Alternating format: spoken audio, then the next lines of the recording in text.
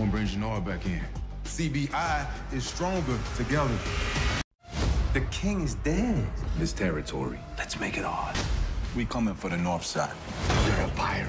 You don't understand boundaries. Let me help you. I'll hand CBI the keys. Every time I try working with a Flynn, I end up dodging bullets. You're gonna kill my sister? I'm gonna make her suffer. What up, what up? Welcome back to the channel. I'm J, and we are locked in. This is what's next for episode 6 of Power Book 4 Force. And man, let me tell you, they are headed in the right direction with this season. I like what we're doing, how they changed up from season 1. Now they give us a hint of season 1, but it's like we have a whole new storyline, and it's very, very believable. We seen that Jenard, he's trying to get himself back together. We know that the Flynns, they are crumbling, they are falling apart. So going into episode six, it looks like we're gonna have more action and the Serbs are getting in on it. Now, before we jump into this and we break down this trailer, if you like power content, breakdowns, theories, and predictions like this, then hit that subscribe button and turn on your notification bell so you get something every time I upload. I'm on that road to 50,000 subscribers, so each and every one of you, I appreciate you. And if you don't see this at 100 likes, hit that like button. But let's go ahead and jump into it. This is what's next for episode 6 of Power Book 4 Force, Season 2 right off the back, we know that Tommy and everyone else in the city of Chicago has heard that Walter Flynn is down. He's down for the count. That means the siblings are in charge, aka Vic. But this also means whenever you get rid of the head of some kind of organization, it's kind of in shambles. It's like a chicken with his head cut off. So Tommy wants to seize the day, and he's telling Diamond, let's go ahead and start to expand into where the Flynns were at. This is going to work out and we know that Vic is supposedly supposed to join CBI. So maybe he just gives that territory to Tommy, and this is how he gets their trust to let him into CBI, and they can start working forward from there.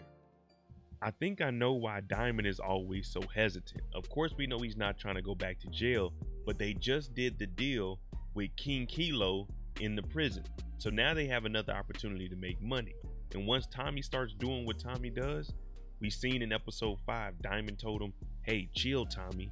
You need to think about some stuff. Tommy said, Let me go drop these bricks off. Tommy comes back with a map. We got some killings going on.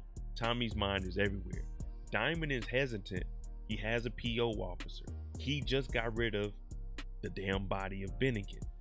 He also knows, hey, we really don't know what happened to D-Mac because Tommy isn't revealing everything.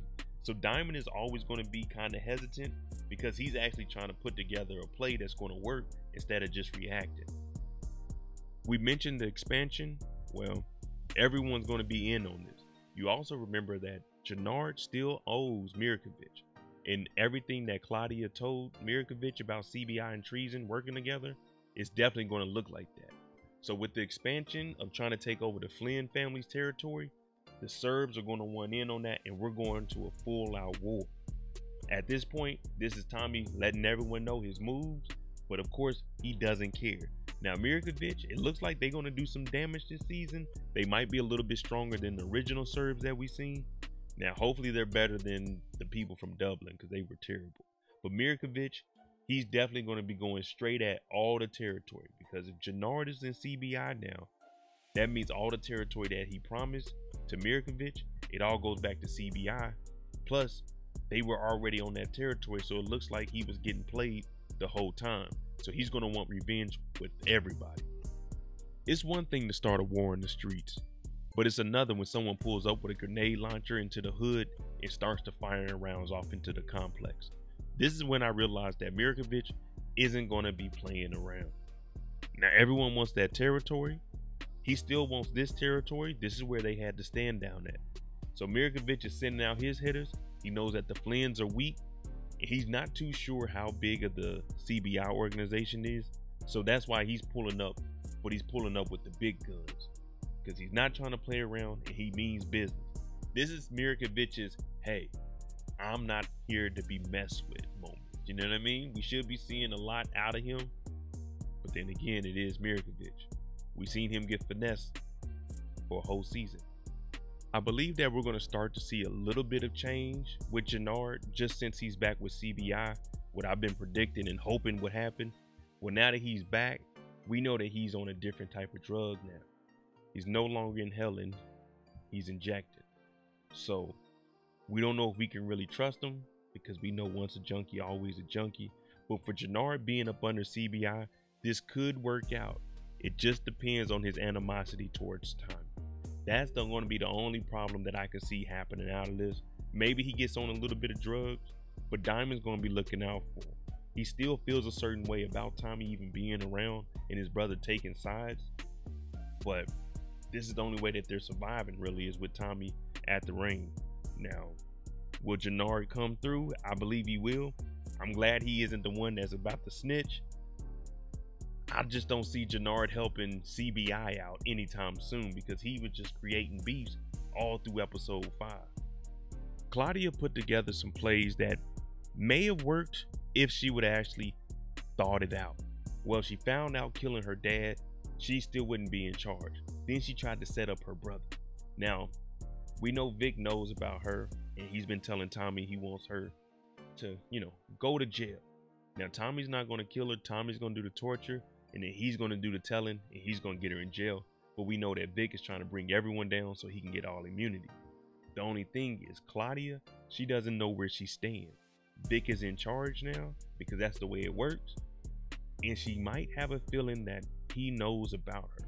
So she's going to have to keep a distance. But remember, the money is cut off. Claudia doesn't have anything going for her at this moment. And everyone, whoever's left in the Flynn organization, are going to be answering to Vic. So Claudia is in the corner, back against the wall, and Vic is potentially about to bring her down. Unless Tommy gets to her first. Now, Tommy and Vic working together, I can see this, but I don't know what Vic is going to do. Turn in his sister and then flip and help out Tommy? Or is he going to turn in his sister and try to turn in Tommy also? Vic, Claudia, the Flynn's, this might be the end of y'all. Y'all might not get a season three. Let's go ahead and get the conversation started in the comments. What do you think about the Serbs? Are we going to see a stronger Serbs going into episode six, or are they going to fall by the wayside like they typically do? Because at least Walter Flynn went out with a bang. Let me know what you think about episode six. Who can we trust? Who can't we trust? Is Jenard going to get right? Make sure you tune in tonight, 7 p.m. Eastern, for the live after show discussion for episode 5, where we break down each individual character. I'm on that road to 50,000 subscribers, so if you heard anything that made you think, then hit that like button. Turn on your notification bell. Man, I appreciate all of y'all. Thanks for watching. I'm out.